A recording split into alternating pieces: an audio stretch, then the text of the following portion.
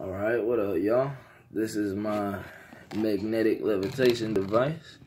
As you can see, literally, this thing is literally just sitting on a magnetic field.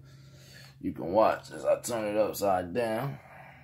Honestly, you can see it's not coming out the bottom.